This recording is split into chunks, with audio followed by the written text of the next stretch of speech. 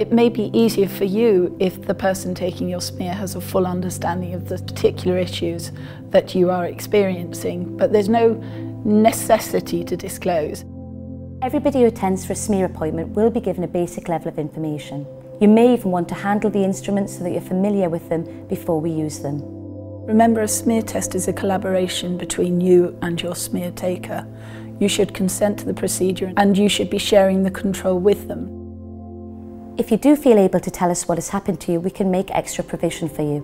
For example, we could make a double appointment or we could give you the last appointment of that clinic for the day so that you don't feel as rushed.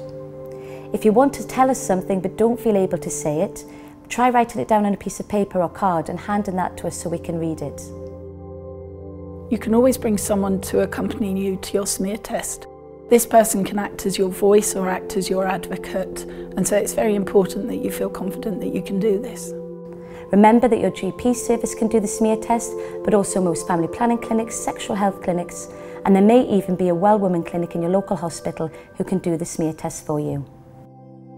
Every woman feels embarrassed during her smear test, but if you think there are certain things that make you particularly embarrassed, if you feel you're scarred or damaged from the rape or abuse, I can only reassure you that your smear taker does not register these things.